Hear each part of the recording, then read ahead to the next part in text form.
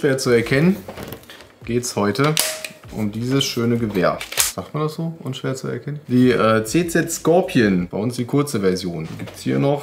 Ist ja in diesem, in diesem kleinen Heftchen, was dabei ist. Kann man auch noch mal sehen dass es die noch in einer längeren Version gibt, beziehungsweise in zwei längeren Versionen. Guck mal, einmal mit Schalli integriert und einmal mit verlängertem Außenlauf. Ist auch ganz geil. Aber die hier soll hauptsächlich im CQB zu Einsatz kommen oder zum Beispiel The Base 1,5 Joule bei 5 Blocks. Ja, ähm, ich meine jetzt weiter. Einfach von außen so. Ne? Die gute alte Textsoft-Manier. Ich werde alles mit reinschneiden. Nee. Als aller, allererstes, ich glaube, man erkennt es, wir haben neues Licht. Ja, ja, stimmt ja. Das ist jetzt Ne? das erste Video So, mit. das erste Video damit. Auch das erste Video mit der neuen Wand, die man auch noch separat beleuchten kann und so weiter. Aber wir lassen das jetzt mal so, weil das sieht ganz cool aus. Und das erste Video in dieser Kategorie. Das ist ein Textsoft-Video mit vorhergehendem Review über dieses Gewehr. Solche Aufbauten aus so ein bisschen cinematischen Review, dann so ein bisschen Review halt wie ich halt bin. ne? Ein bisschen äh, konfus. Das geht dann über in ein, in ein Textsoft, in ein Tuning von diesem Ding. Weil, wer uns kennt, wir haben natürlich hier wieder ein bisschen was mit vor mit diesem Teil. Zum einen, Unboxing hattet ihr eben. Und zum anderen, jetzt geht es um dieses Gewehr. Ja? Also es kommt hier in diesem Karton hier, habt ihr ja gesehen, bla bla bla. Schafft so eingeklappt. Und da war zum Beispiel bei dem ersten Gewehr, was wir gekriegt haben, dieses hier, das Problem. Durch den eingeklappten Schaft in diesem Karton ist es passiert, dass hier bei diesem Halter hier unten, ja, ich muss jetzt voll drauf zoomen, ja. da rastet diese Nase hier ein und dadurch, dass das Ding eingeklappt geliefert wurde, ist hier ein Stückchen weggebrochen. Ist das schon jetzt die. Ist noch die alte. Das ist noch die alte. Ach so, ja. wo die andere, die andere hängt da. Ach so. So. Ja, deswegen habe ich ja eben hingezeigt, damit du dran, ranzoomen kannst. Ja, sag mir das doch. Ja, habe ich doch gesagt. da. du wolltest doch noch mal sehen. So, Ich dachte jetzt an die. Da, da ist so ein? Ding weggebrochen. Da. Da. Dieser, dieses Onkelchen da ist eigentlich länger. Okay. Ja? Eigentlich länger, ja, ja. Da gibt es bestimmt einige, die dann irgendwie äh, sagen, Bigadi, was habt ihr da für einen Scheiß gemacht? Alter, die können da nichts für. Das Ding ist nun mal so eingepackt vom Hersteller. Bei der ja. Gelegenheit kann man ja auch mal erwähnen. ja, das Ganze ist So. natürlich, ja, kaum zu erkennen, irgendwie ein bisschen von Begadi gesponsert worden. Wie gesagt, da haben wir eine schöne Partnerschaft mit Begadi, die uns hier diese Gewehre für diese Reviews und äh, ja, Textsoft-Videos dann zur Verfügung stellen. Begadi bietet ja auch sau viele Tuning-Teile an für alle möglichen Gewehre, Varianten, Pistolen, was auch immer. Wenn wir es gebacken kriegen, jegliches Tuning an diesen neuen Teilen aus dem Begadi-Sortiment zu nehmen, dann kann man sich in Zukunft, wenn man dieses Teil bestellt, auch gleich das ACS-Tuning auswählen und das von äh, Begadi mitschicken lassen. Kurze Ergänzung, aufgrund aktuell nicht vorhandener Artikelverfügbarkeiten kann das Tuning noch nicht sofort in den Shop implementiert werden, wird es aber natürlich, sobald die Situation sich ändert. Das Tuning wird dann auch mit preiswerteren Teilen angeboten, um ein besseres Preis-Leistungs-Verhältnis zu gewährleisten und mit Tuning-Anfragen jeglicher Art, auch in andere Richtungen, könnt ihr euch aber sowieso jederzeit an die Bigadi Tuning Werkstatt wenden. Die werden euch mit Rat und Tat zur Seite stehen. Weil wir sagen es nochmal, weil wir kriegen Ja. immer noch gefühlt täglich Tuning-Anfragen, auch wenn wir seit, wenn es in der Beschreibung steht, auch schon öfter erwähnt, wir machen keine Tunings für andere. Wie lange sagen wir das jetzt schon? Seit einem Jahr in jedem Video oder so? ja. Bitte, äh, hört auf zu fragen. Ihr glaubt gar nicht. Ey. Der E-Mail, der Posteingang, der glüht. Und wenn irgendwelche Teile nicht mehr verfügbar sein sollten, die wir hier verwendet haben, weil inzwischen irgendwie ein Jahr vergangen ist oder sonst was, dann wird das mit Sicherheit von Begadi durch andere hochwertige oder gleichwertige Komponenten ersetzt. Ähm, da muss ich auch gleich dazu sagen, ich weiß gar nicht, wie lange es diese Version noch gibt, weil demnächst wohl irgendwann eine neue Version von ASG rauskommt, wo dann auch schon serienmäßig so ähm, optische Tuning-Teile integriert sind und geänderte Elektronik. Da gehen wir später nochmal drauf ein, auf die Elektronik und auf die Optik eigentlich jetzt schon. Also der Body an sich ist 100% identisch mit dem Original. Und nicht nur der Body, sondern also nicht nur optisch und von den Maßen und Form her, sondern auch vom Material her. Weil ASG hier wohl ganz eng mit äh, CZ zusammengearbeitet hat und die hier wirklich das 100% das gleiche Material verwenden wie beim Original. Das finde ich schon mal ziemlich geil. Und das ist Und jetzt das- nicht Metall oder was? Nee, das ist ein Kunststoff. Auf jeden Fall fühlt es sich alles sehr geil an. Du kannst hier nirgendwo irgendwas verdrehen am Body. Gar nichts, obwohl es zwei Gehäusehälften sind, die aufeinander gepackt sind. Hier, ne, durch die ganzen Imbusschrauben miteinander verschraubt. Es ist un eine unheimliche Festigkeit in dem ganzen Ding. Hier beim Schaft, da spürt man so ein ganz kleines bisschen Spiel. Und das liegt aber hier auch mit an diesem äh, Schiebemechanismus. Da kann man den nämlich, wenn man den hier so einklappt, hat man hier hinten dann ach, den USB, wollte ich jetzt sagen. den Imbus um an den Federschnellwechsel zu kommen. Aber da kommst du jetzt nicht direkt so rein, weil der Federschnellwechsel ist gleichzeitig auch noch der Stopper für diesen, für diesen äh, ab, abnehmbaren Schaft. Und zwar kannst du den dann hier einfach reindrücken und nach oben wegschieben. So, dann hast du ihn in der Hand. Gibt es wohl auch, habe ich aber noch nicht gesehen, ein M4-Stock-Adapter. Wäre ja auch mal lustig, ne? Einen schicken M4-Stock mit dran hauen. Am 16 schafft. Ähm, ja, genau. Jetzt hat er wieder. ey. Und ein Scope, ne? Genau. Ja, ja. Auf jeden Fall kommt man jetzt. Da sieht man auch, dass hier jetzt die. Halt die Klappe jetzt.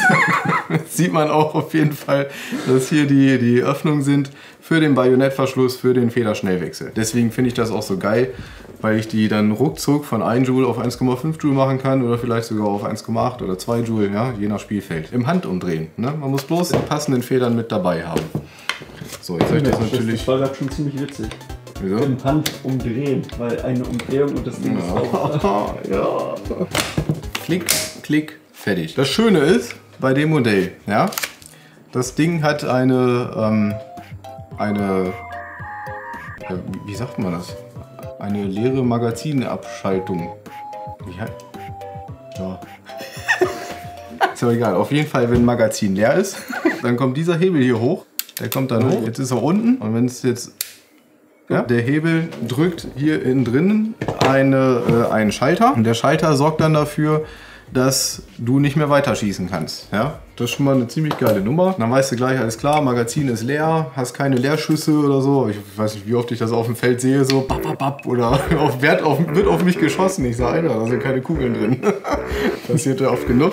Kann dir hier nicht passieren. Und wenn du dann ein neues Magazin eingelegt hast, musst du halt einmal wirklich hier den Hebel betätigen. Ja, das ist wie beim reellen Vorbild. Einmal den Hebel betätigen und dann schießt das Ding wieder. Jetzt zeige ich euch gleich mal, wie man den Akku einlegt. Der kommt auf jeden Fall hier vorne in den Handguard. Einmal den Flashhider abschrauben. Ganz normales Rechtsgewinde. Dann dahinter ist nochmal hier so eine, so eine Laufmutter. So, und jetzt könnt ihr theoretisch den Handguard abziehen, aber da müsst ihr aufpassen, weil, ist mir nämlich schon tausendmal passiert, der Ladehebel, funktioniert auch hier, ne? Die Geschichte, rastet ein. Ja. Ja, um das Hop abzujustieren. Ist auch ein bisschen doof. Also das, da würde ich auf jeden Fall empfehlen, mit dem Imbusschlüssel das Hop abzujustieren. Hier ist ja Federdruck drauf. Das heißt, du musst den hier mit festhalten und dann erst abziehen am besten. Da kommen wir auch gleich schon zum nächsten. Und zwar kann man das nicht nur hier von der linken Seite aus bedienen. Und du siehst, hier auf der rechten Seite ist die gleiche Öffnung nochmal. Ja, das heißt, man kann das ganze Ding auch einfach nehmen. Hier drüben ins Loch reinstecken. Und schon hast du äh, für Linkshänder die Bedienmöglichkeit geschaffen. Sling-Aufnahme hier vorne. Ihr habt ja einmal hier eine außen, die ist fest am Body dran. Die habt ihr aber auf der Seite hier auch. Ja. Und hier vorne ist noch eine. Die kann man dann, wenn der Handguard ab ist, einfach rausziehen und einfach auf die andere Seite stecken. Zack. Also da haben echt so ein paar Leute mal wenigstens ein bisschen mitgedacht. Ja, Akku rein. Ich habe jetzt mal einen, was ist denn das überhaupt? Ein 11.1er, 1300 mAh. Ich glaube, der, der wird häufig für AKs verwendet. Auf jeden Fall ziemlich lang, weil ihr schiebt den hier vorne rein. So, bis hinten durch kannst du den schieben. Also so, das wäre jetzt ein Anschlag. Das ist schon mal eine ganz geile Nummer, weil da kannst du ja nochmal schön so einen schönen langen Akku reinpacken, sodass hier vorne durch diese Schlitze nicht ganz so viel zu sehen ist. Ja, allgemein ist ja sowieso im Handguard dann auch nicht mehr so viel Platz. Eine Sache noch, der Schaft, der ist nicht nur klappbar, ja, rastet sauber ein, wie gesagt, ist alles wunderbar. Den kann man aber auch ausziehen, noch ein Stückchen, ne? in der Länge anpassen. Das Rein- und Rausschieben funktioniert auch alles ziemlich schön und easy, aber der wackelt halt wie Sau. Ne? Und das nicht nur, wenn er draußen ist, sondern auch, wenn er drin ist. Wenn er drin ist, ein bisschen weniger, aber ist trotzdem scheiße. Wenn man das ganze Ding anlehnt oder anlegt, dann, also mich stört es dann nicht mehr, aber es gibt natürlich Leute, die da, die sowas überhaupt nicht abkönnen. Stimmt, Hannes? Und, ähm, die, und dafür gibt es dann halt noch eine Lösung, haben sie hat sich auch schon irgendwas überlegt. Da kann man dann hier den Stift hier raustreiben. Siehst du den? Den Stift hier Ja. Oh. Dann kannst du den Schaft komplett rausziehen und dann siehst du hier schon diese, diese Einkerbung. Ja? Davon kommt hier noch eine und da gibt es dann so ein Distanzplättchen, was man da drauf klemmen kann. Das klippt man dann da drauf und dann soll das Spiel wohl fast komplett weg sein. So, und jetzt ballern wir mal eine Runde durch den Chrono.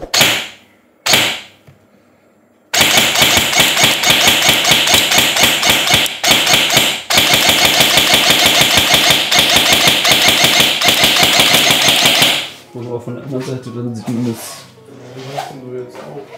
wegen dem Ansprechverhalten. Ja, ich wollte doch jetzt zeigen, dass ich nicht weiter schießen kann. Oh. Mach noch mal ein paar BBs rein. okay. Okay. Ja. Hallo. Pass auf, ich schieße, ne? Oh halt, ich muss ja drücken. Jetzt, ich schieße.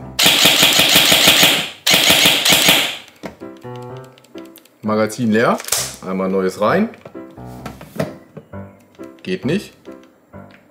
Hebel gedrückt. Geht. Es geht halt nicht schnell. Und das Ansprechverhalten ist jetzt auch. Geht so. Geht besser, ne? Aber für eine Stockknarre sehr gut und vor allem auch wirklich zum Beispiel für Anfänger empfehlenswert einfach nur. Das Ding ist in der Hinsicht total super. Es hat einfach alle Features, die man braucht. Eine Gierüberwachung, es ist alles mit drin. Und tuningfähig. So, was natürlich auch noch mit dabei ist, was wir jetzt ganz vergessen haben, ist, äh, sind die Sights. Hier, vorne, hinten. Das gehört komplett dazu. Ja? Das hier ist jetzt meine Version, die, wo hier unten nichts weggebrochen ist. Ja. Wie sieht's aus?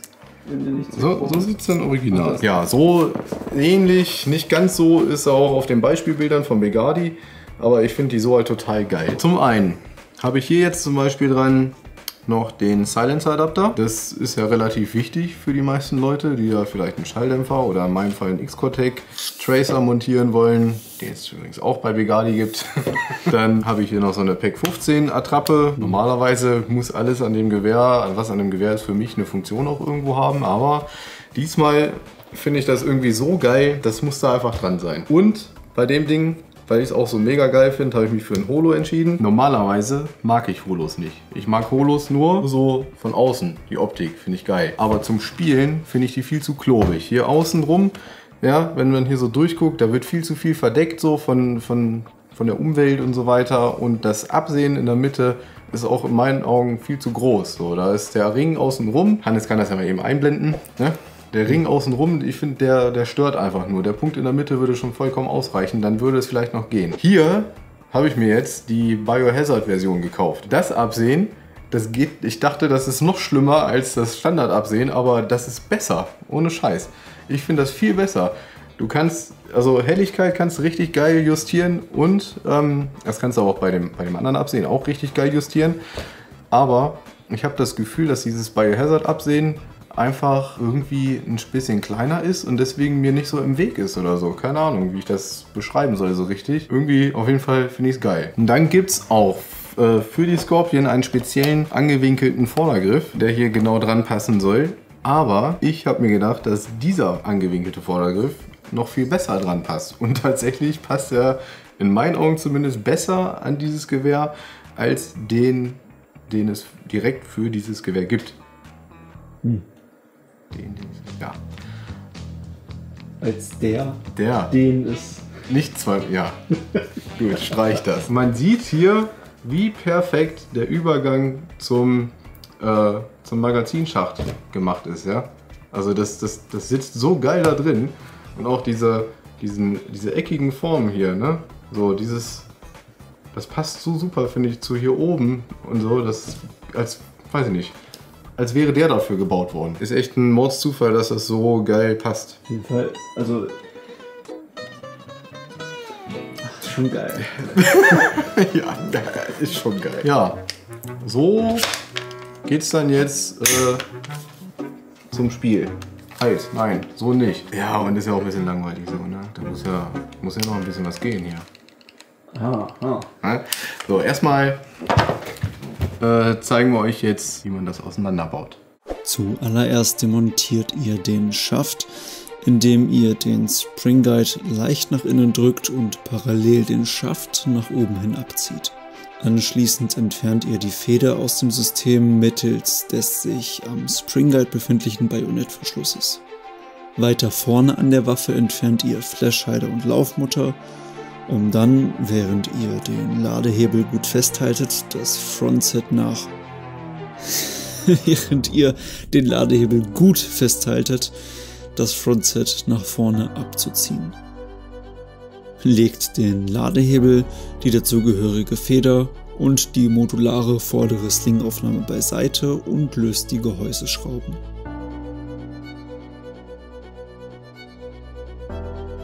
Zieht dann mit leichtem Wackeln am vorderen Teil die rechte Gehäusehälfte ab. Vorsichtig wackeln, denn diese verklemmt schnell. Als nächstes entfernt ihr das Dustcover, indem ihr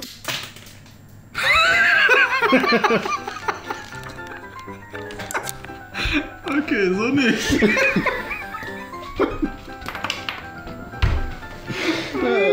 Hör auf, weiter zu filmen.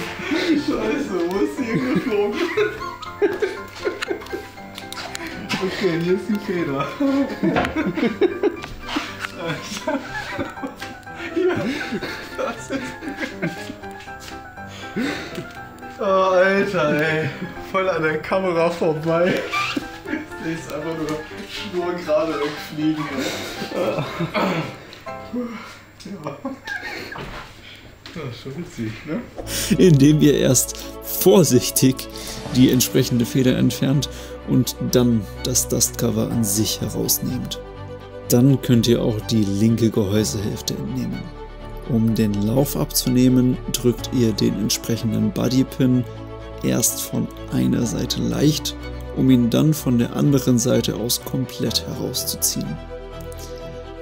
Dann die Motorplatte ab, Kontakte vom Motor lösen, Motor raus, die vier sich im Griff befindlichen Schrauben lösen, die zwei sich am Griff befindlichen Schrauben lösen, den Griff abnehmen und anschließend die Gearbox mittels der durch den Trigger Guard erreichbaren Schraube vom Rest des Gehäuses trennen.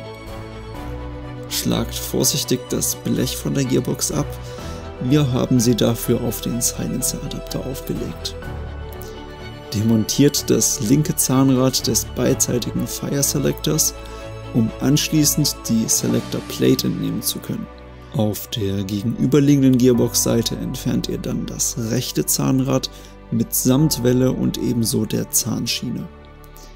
Dann heißt es nur noch alle Gearbox-Schrauben lösen, anschließend die Shades voneinander trennen, dabei muss die rechte Hälfte nach oben zeigen und vor euch präsentiert sich das Herzstück eurer ASG CZ Scorpion Evo 3 A1.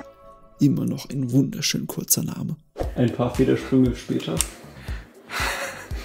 Ja, jetzt habt ihr gesehen, wie man es zerlegen muss. Ich habe die Gearbox einfach nochmal wieder komplettiert, um euch nochmal kurz was zu zeigen. Und zwar sieht man hier ganz gut die ganzen Taster. Zum einen ist hier vorne der Taster, wo dann vom Magazin dieser Nupsi da drauf drückt, um der Elektronik zu sagen, dass das Magazin leer ist. Dann haben wir zum anderen hier, der hier sagt dann, alles klar, Magazin wurde gewechselt. Normalerweise ist hier vorne an der Selector Plate dann auch nochmal äh, noch so ein Bügel dran, der dann dafür sorgt, dass zum Beispiel bei Semi, Burst und Full Auto dann die einzelnen Taster gedrückt sind und somit dann diese ganzen Feuer Modis zur Verfügung stehen. Das ist eine Semi-Only-Version für Deutschland, ja klar, also keine 05er. Deswegen ist diese Funktion nur durch dieses Beschneiden der Selector Plate abgeschafft worden. Und man sieht hier auch noch sehr gut die mechanische Sicherung, auch durch die Selector Plate. Also hier ist der Hebel, ja, da, der sich mitbewegt, wenn man den Trigger betätigt.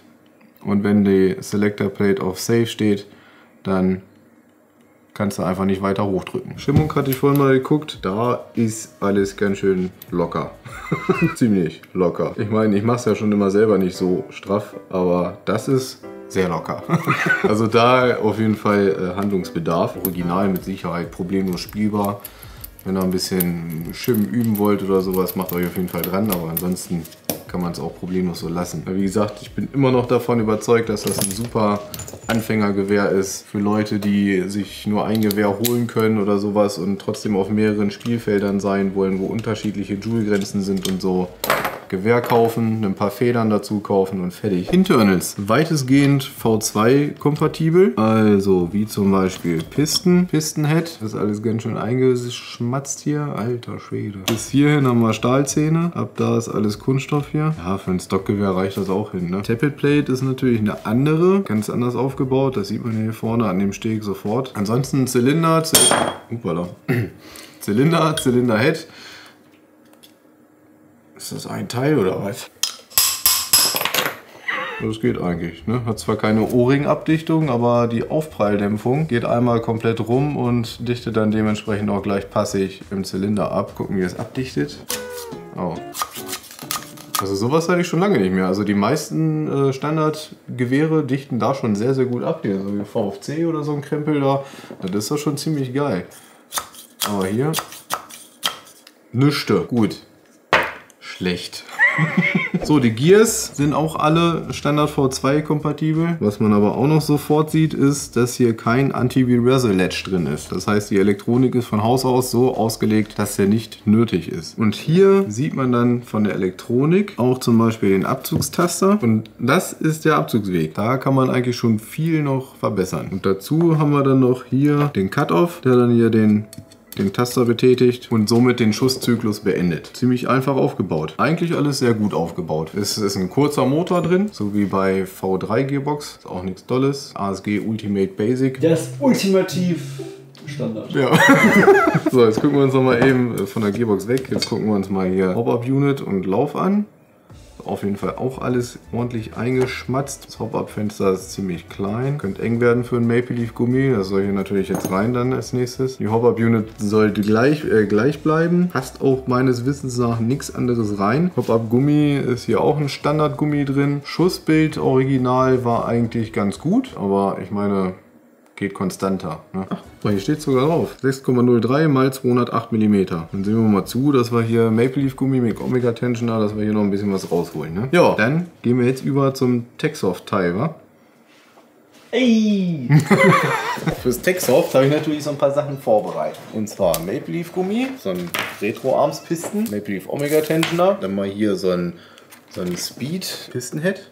Bisschen. Da wir den Druck relativ schnell aufbauen durch die Art des O-Rings und so. Extra für so High-Speed-Tunings. Wieso denn überhaupt Highspeed? Wie komme ich da drauf? Ah, Highspeed. Double Sector Gear. ja, wer hätte gedacht. Aber diesmal dieses arschteure Modify-Ding. Und zwar, weil ich einfach mal wissen möchte, warum ist das so teuer? So, ganz einfach. Das möchte ich einfach mal wissen, weil ich finde das äh, eigentlich eine Frechheit, weil das SHS Double Sector Gear, das funktioniert so tadellos überall. Deswegen weiß ich nicht, warum die das hier so teuer gemacht haben.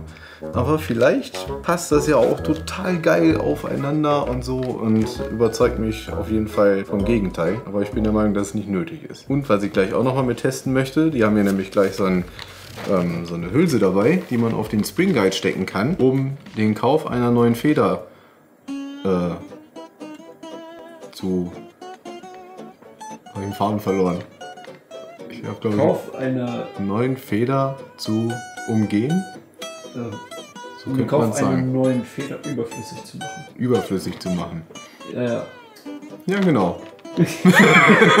ne? Das, was er sagt. Bin ich auch mal gespannt, weil wir hatten ja gemessen 1,5, 1,6 Joule mit Double Sector Gear. Weiß ich nicht, ob wir das überhaupt noch erreichen dann. Und vor allem mit diesem Distanzstück abwarten. Ach nee, halt, stimmt ja gar nicht. Ich Idiot. Den Retro-Arms-Pisten bauen wir ja gar nicht ein. Weil wir bauen ja auf Double Sector Gear um. Und fürs Double Sector Gear hat Retro Arms ja einen extra Double Sector Gear Pisten der natürlich auch eigentlich sinnfrei ist, aber den wollte ich auch unbedingt gerne mal testen. so, der hat nämlich nur die Hälfte der Zähne. Halt die Stückzahl an Zähne, die man eigentlich nur braucht für ein Double Sector Gear. Deshalb ist er voll krass viel leichter und Ja, definitiv. Und hält bestimmt mehr aus und ist weiß. ah, Und heute mal der Aimtop F430 Spider. Dieser Motor, den habe ich, boah, wann habe ich angefangen mit Airsoft? Vor drei Jahren? Vier Jahren? Ich weiß gar nicht mehr. Fünf Jahren? Alter, ich habe keine Ahnung. Auf jeden Fall hatte ich da eine G3, so eine, irgend so eine Well G3, habe ich glaube ich schon ein paar Mal erwähnt in ein paar Videos. Die war nur so kurz wie so eine MP5. Und da habe ich mir, das erste Tuning, was ich mir gekauft habe, war ein neuer Motor. Und das war der Aimtop F430. Alter, also Anzug hat er auf jeden Fall. Ich weiß aber noch, dass er Kohlen gefressen hat ohne Ende. Ist mir aber scheißegal. Dann stopfe ich da jedes Spiel neue Kohlen rein oder so. Ist mir Hupe. Auf jeden Fall bin ich mal gespannt, wie das so dann miteinander funktioniert. Weil da kommt noch was rein. Warte mal, das ist hier vergraben. Das kam nämlich erst später ins Programm. Da hatten wir das hier schon lange rumfliegen. Aber ich wusste, dass das kommt. Und da hat Brigade mich gleich informiert. Jetzt kommt's. Dann haben sie es mir gleich geschickt. Ja, Mann, das Jeftron MOSFET. Speziell, also das Leviathan, was ja schon da drin ist, speziell umgebaut für die Scorpion. Natürlich hier, ja, Semi-Only, ne? Wir bauen hier keinen illegalen Scheiß. Und ähm, das kommt da rein. Ja, womit fangen wir an? Ähm, Ich baue erstmal jetzt das Maple Leaf Gummi hier rein. Dann haben wir das Präzisionstuning schon hinter uns mit dem Omega Tensioner. Das ist eigentlich so Standard, was wir immer machen, wenn's, wenn keine Max Unit reinkommt. Stimmt's oder habe ich recht? du hast vollkommen recht. Ja, also stimmt's. Es steht sowieso außer Frage, dass du ausnahmslos recht hast. Hä? Oder fühlst du dich jetzt leicht übergangen? Eine Ewigkeit später. So, hier ist jetzt schon mal das äh, Modify-Kit drin. Ja, also das läuft alles ganz schön sauber. Die Gleitlager sitzen auch schon ganz schön, ganz schön gut drin. Das, das passt Wie alles. viel Ne? Millimeter haben die? 8 mm Gleitlager. Falls da jemand was anderes einbauen möchte. Präzision? Ja, achso, siehst du, das habe ich ja eben schon gemacht. Der ähm, Omega Tensioner von Maple Leaf, der passt einfach nicht rein in die Hop-Up-Unit. Zumindest nicht in Verbindung mit einem Maple Leaf Gummi. Da drückt der von Haus aus schon zu dolle. Ja? Also da wird man mit Sicherheit einen Overhop haben. Deswegen habe ich jetzt einen Original-Tensioner erstmal reingesetzt, um zu gucken, wie, der, wie sich der so verhält. Ja? Vielleicht fummel ich da nochmal ein bisschen rum. Und wenn, dann steht es mit in den Kommentaren, wenn ich irgendein Update dazu habe. Ne? Dann pinnen wir das oben an. Weil so ist das, denke ich mal, eigentlich schon eine ganz gute Lösung. Was viel wichtiger ist, ist jetzt hier das, das Timing, Tappelplate und Nozzle. Also so scheint sie weitestgehend V2-kompatibel zu sein. Allgemein so die Maße ne, sind ziemlich ähnlich. Nozzle scheint auch ein, äh, eine Standardaufnahme zu haben. Also die passt hier auch wunderbar in diese Tappelplate rein. Das ist überhaupt kein Thema. Jetzt müssen wir bloß mal gucken dann noch, ob wir noch ein Nozzle da haben, weil das habe ich ehrlich gesagt ein bisschen missachtet. Da messen wir gleich mal und gucken nochmal, ob wir eins da haben, was wir eventuell einkürzen können. Jetzt gucken wir erstmal nach dem Timing, obwohl wir können eigentlich den neuen Scheiß schon mal schnell zusammenschrauben. Pistenhead ist auch wichtig. Der Pistenhead hat ein Kugellager. Würde ich auch auf jeden Fall kaufen. Immer Pistenhead mit Kugellager, weil der Original Spring Guide hat nämlich kein Kugellager. Wir testen jetzt mal diesen Speed Pistenhead. Der ist relativ leicht. Außen hier diese die Öffnung, weil der O-Ring auch anders geformt ist. Siehst du das hier? Kennen vielleicht einige von, von Snipergewehren, ja? Diese Art Form, die ist so offen über diese Lücken, drückt sich die Luft hier zwischen in diesen Ritz und dadurch drückt sich das Ganze dann von außen äh, gegen, die, gegen die Zylinderwand und dichtet dadurch dann sehr schnell ab. Also gerade in solchen Fällen hier zum Beispiel, wo man eigentlich auf jeden, äh, ja, auf, auf jeden, jedes bisschen an Zylindervolumen äh, Angewiesen ist. Wieso fehlen mir denn die Worte gerade? Immer wieder. Bei einem Double Sector Gear Tuning in dem Fall, ja. Nur Qualitätsscheiße hier heute. Ich ja gar nicht gewohnt. Ne? Fetten.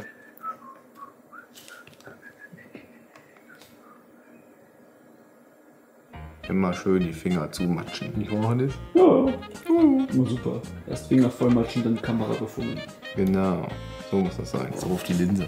Mm, lecker. Mm, lecker. Wie die Mettfrau. Das ist ja normal, ne? Kenn ich nicht. Wie kennst du nicht? Kennst du nicht? Die Frau, die so ein Pfund Mett zum Frühstück frisst? Oh, ich muss dir nur so viel zeigen, mein Junge. Äh, passender Imbus. Äh, ja. Schraubt sich besser mit den Begani Pro Tools. Oh, viel besser. Die Begadi Pro Tools sind total schön. Ich würde sie jedem empfehlen. Nein, die sind wirklich gut. Ich habe sogar neue Schraubensicherungen. Wow. Ja, ich muss nicht mehr die letzten Kackreste aus, meiner, aus meinem Loctite da rausholen.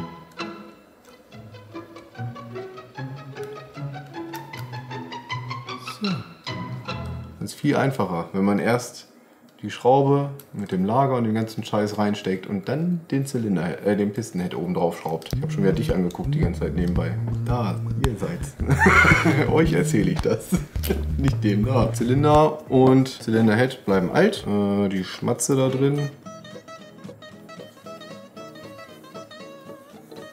Ah, ist schon okay.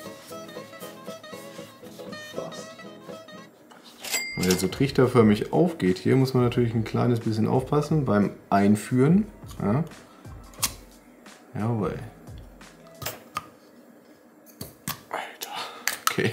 Jetzt ist dicht. Der ist dicht. Jetzt geht es erstmal ums Timing hier. In der Zwischenzeit habe ich nochmal schnell geschimmt. Und Alter, da müssen, keine Ahnung, 5 Meter Shims müssen da drauf. Also AOE ist nicht so geil, das habe ich schon mal gesehen vorhin. Da sieht man schon, ne? AOE ist nicht so geil. Das passen wir aber nicht an. Hier vorne liegt die Tappet Plate komplett an. Das passt schon mal alles soweit. Drehen wir hier mal auf. Jetzt sind wir so bei der Hälfte ungefähr vom, vom, äh, vom Nozzle-Rückgang. Jetzt fängt er an, den Pisten aufzuziehen.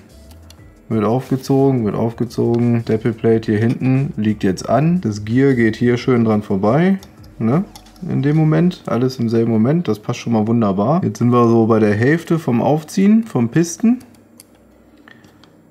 Jetzt haben wir den Punkt erreicht, wo die Plate schon wieder nach vorne geht und im Hop-Up-Gummi abdichtet. Da muss man auch mal drauf achten, dass es auch wirklich bis zum Ende hier vorne anliegt. Nochmal zwei bis drei Zähne weiter löst er dann erst aus. Hier könnte es eventuell ein bisschen Probleme bei der Überschneidung geben, weil jetzt löst er aus und quasi fast im selben Moment zieht er die Tappet Plate schon wieder auf. Da könnte es ein bisschen vom Timing her ein bisschen gefährlich werden. Also eigentlich müsste es genau passen. Wenn wir ganz viel Pech haben, dann ähm, verlieren wir dabei Energie und wir müssen das ganze Ding nochmal auseinanderbauen und dann an der Stelle hier, guck mal, hier ein bisschen was abtragen. Das geht ganz einfach mit dem Cuttermesser hier runter. Einfach ein Stück weg, wegschälen mit dem Cutter. Was viel schlimmer ist, ist jetzt das Nozzle. Das haben wir ja vorhin schon gesehen. Das ist kein, hat keinen O-Ring, vorne so gerade, ist alles irgendwie komisch. Tatsächlich dichtet das aber trotzdem einigermaßen gut ab mit, dem, mit diesem äh, Speed-Piston-Head. Funktioniert das einigermaßen gut, aber natürlich um Längen nicht so gut wie mit so einem O-Ring abgedichteten Nozzle. Ne? Problem ist, das hier ist ein 18,5 mm langes Nozzle. Die kürzesten, die ich hier irgendwo vergraben habe noch, ich finde die gerade nicht, sind 21,0. Dadurch, dass ich die gerade nicht finde,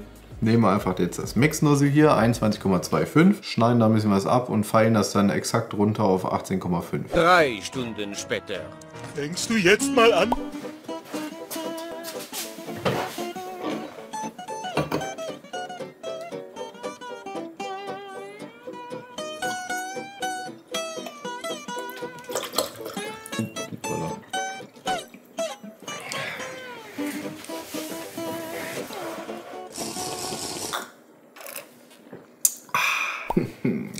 Rund hier. Aber noch ein Schlückchen. So. Oh. So, Nozzle gekürzt. Ist das so richtig rum? Halt doch mal. Wir werden dann auf jeden Fall den 18.5er irgendwie verlinken. Und wenn nicht, das ist, dichtet echt besser ab, als man denkt. Ja, das Original Nozzle. Das können wir ruhig nehmen, eigentlich. Es ist, äh, geht nur gegen deine Fli Flido so. Philosophie. ja, so eine Art, Hannes. Gucken wir mal, wie es Leviathan da reinpasst, wa? Oh. Guck mal, ich habe den Deckel schon mal aufgemacht. Hier ist ein Stift dabei. Das Geile ist, ich kann dann über meine Handy-App beide steuern. Also das und die VFC. Wer das VFC-Video nicht gesehen hat und wissen will, wie man so einen Jeftron einrichtet und was das alles kann, Easy, da oben. Infokarte. Guck mal, ein neuer Sticker. Leviathan haben wir aber schon einmal. Und guck mal, was hier noch drin ist. Das ist ja ganz geil, ne? Ein Anti-Reversal-Ledge. Den schicken sie mit zum Nachrüsten, damit du den, äh, na, Precocking. ja, damit du, jetzt sind mir fehlen schon wieder die Worte, damit du äh, Precocking verwenden kannst. Jetzt müssen wir bloß mal gucken, wie die das dann aufbauen. Weil normalerweise ist da kein Platz für da, also muss man bestimmt irgendwo was wegfräsen. Ein Text auf den guten alten Dremel. Ich will mal was bauen, ohne zu dremeln.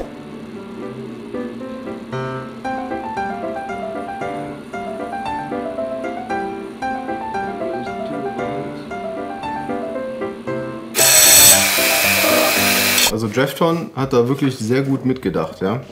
Pass auf, da hat man hier die ganzen Verschraubungspunkte. Da, da, da, da, da und da. Die sind ja wirklich auch vor allem in der Richtung hier eigentlich weitaus genug. Deswegen haben die sich gedacht, wenn man irgendwie Precocking verwenden will beim Leviathan, dann braucht man ja den Anti-Reversal Ledge. Also lassen wir einfach die eine Schraube hier weg und ersetzen die durch einen Gewindestift. Ja? Drehst du die einfach rein, solange bis sie hier unten am anderen Ende bündig ist und schon hast du deinen Stift, wo der Anti-Reversal Ledge drauf passt. Zack. So, musst natürlich gucken, dass der auf jeden Fall auch genug Freigängigkeit hat. Ja? Und die Feder hier muss man dann auch nochmal umbiegen. Da muss man dann hier nochmal das Ganze abwinkeln nach unten, damit die sich dann an der Gearbox Shell hier unten dann gegenhalten kann. Also das auf jeden Fall ist das äh, Montage für Fortgeschrittene, definitiv. Jetzt setze ich den Gewindestift gleich mal hier mit Schraubensicherung an. Was schon mal schön ist, beim Originalteil, ne, da hast du ja eine zweigeteilte Elektronik. Die eine Hälfte ist dann in der einen Gearbox Shell und die andere in der anderen. Beim Zusammenstecken können da mal ganz schnell irgendwelche Drehtchen kaputt gehen. Das ist so ähnlich wie beim, bei der ACU. Bei dem Leviathan-Ding ist alles auf einer Platine. Total geil. Das ist jetzt unser Abzugstaster. Bin mir nicht ganz sicher, aber ich glaube, der ist ein bisschen niedriger als das Originale. Und das hier ist jetzt unsere Zykluserkennung. Zyklus? Zy Zyklen? Zyklenerkennung. So, da brauchst du also auch kein Cut-Off mehr. Der fällt weg. Und somit ein weiteres mechanisches Bauteil, was irgendwie Probleme machen könnte, fällt weg. Wir können einfach die originalen Schrauben verwenden. Aber Deftron hat hier noch zwei Kunststoff Unterlegscheiben dazu gepackt, die dann dafür sorgen, dass man keinen Kurzschluss zwischen Gehäuse, Schraube und Deftron Platine erzeugen kann. Jo. Jo, jo. Ah, ein bisschen fummelig. Ja, einfach einmal mit den originalen Schrauben vom Cut-Off und von der alten Elektronik festgeschraubt und fertig. Hier wieder in den Aussparungen sitzen wieder wunderbar die Taster.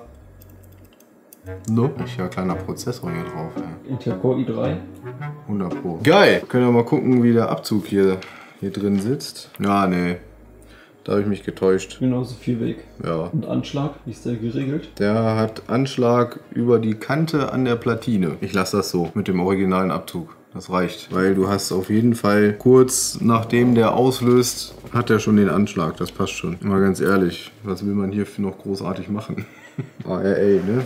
Jetzt nehmen wir uns die Feder hier. Jetzt musst du den Arm hier, ne? Der so gerade ist. Der muss jetzt ab der Hälfte im 90 Grad Winkel nach unten gebogen werden. Gott, kannst du das überhaupt erkennen? Ich glaube, das kann man gar nicht erkennen. Schon sehr fein. Guck mal, vielleicht auf dem hellen Untergrund hier. Da müsste man jetzt ganz gut sehen, wie der gebogen werden muss. Steht aber auch alles in der Anleitung. So, jetzt gucken wir mal, ob das hier alles zusammen mit Feder genug Platz hat. Weil ich glaube, mit Feder muss ich dann doch noch ein bisschen was von der oberen Gearbox-Shell wegfräsen. Naja, jetzt gibt's darüber. Mann, Mann, Mann, hier Dreck immer. Immer da, wo man mit, mit fettigen Sachen hantieren muss, die eigentlich sauber sein sollen. Okay. Ja, ist doch scheiße. Immer noch. Äh, Entschuldigung, warte. Ihr müsst einfach nur genau. Äh, jetzt müssen wir nur noch laut Anleitung hier wieder diese Schaumgummidinger. Das ist genauso wie beim, bei der V2 Gearbox beim Leviathan. Da müssen die Schaumgummidinger auch geklebt werden. Hier in dem Fall kleben wir die hier vorne hin.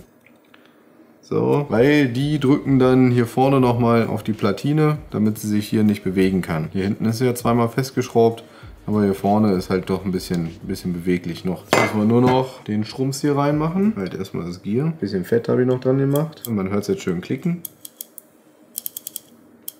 Wunderbar. Kommt das vom Taster? Äh.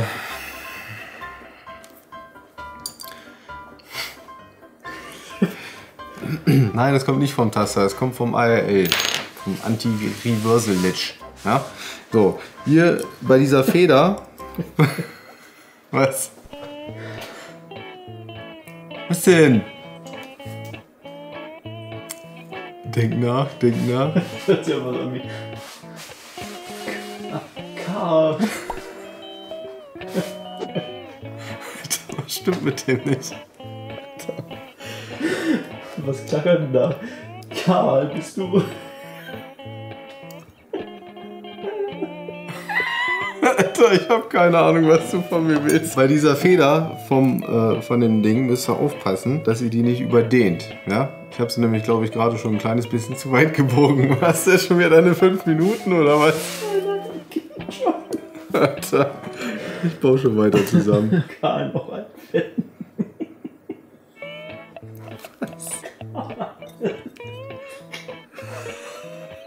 Alter, du wirst das wieder gucken beim Cutten und wirst dir denken so, was habe ich denn da schon wieder gehabt? Dichtet das dichtet ab. ja. Gut, Leute, Schrauben rein und testen. Bin ich gespannt. So, das geht da lang, das hier. Und dann gehen die Kabel hier durch. So, guck mal, da habe ich meinen DIN-Stecker. Schön, ne? Oh Mann! Hennis, Macht Karl schon wieder viel. Wir springen gleich doch. Jetzt habe ich noch mehr Bock auf CQB.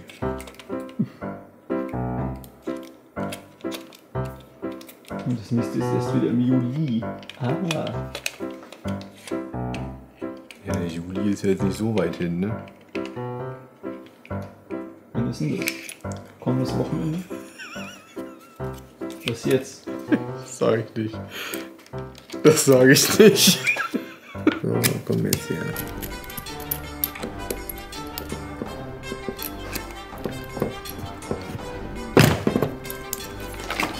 Aim Top Motor.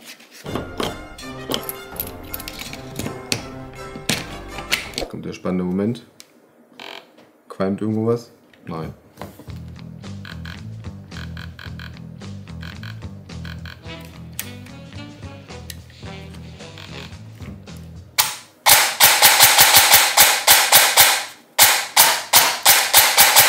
Schlägt schnell ab, aber ich glaube, das Nozzle bewegt sich nicht. Problem gefunden.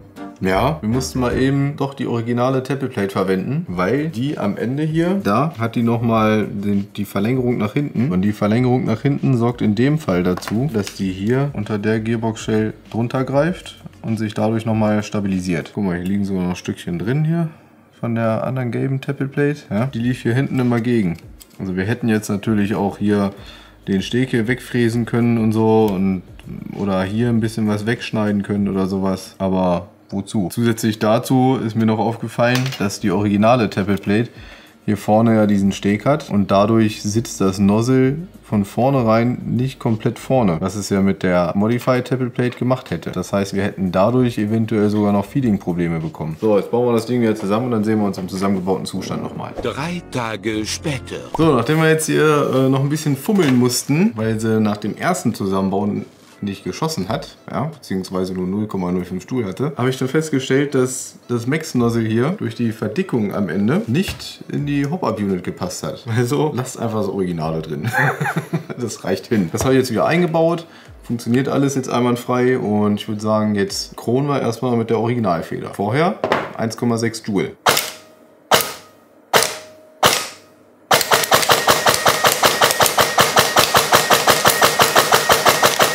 So, jetzt probieren wir mal, gucken mal, ob dieses komische silberne Ding das Ganze ausgleichen kann. Wofür es ja da sein soll.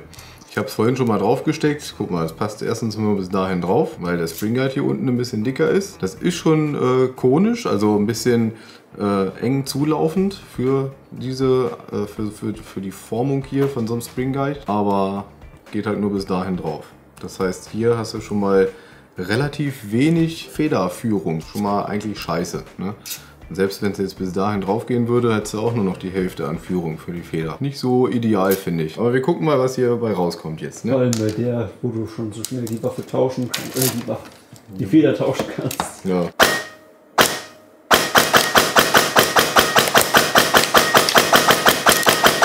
Fast ein Joule, nicht ganz. Wäre ja eigentlich ganz gut, ja.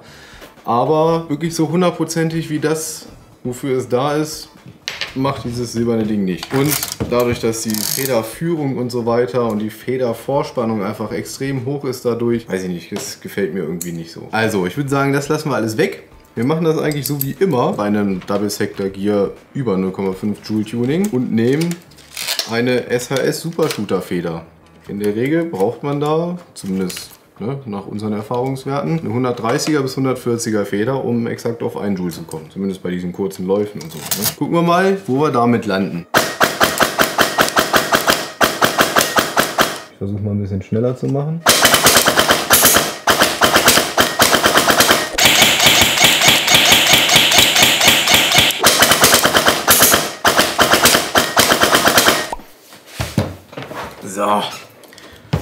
Knappe 1 Joule, relativ konstant. Ja, also für mich ist das so in Ordnung, oder nicht?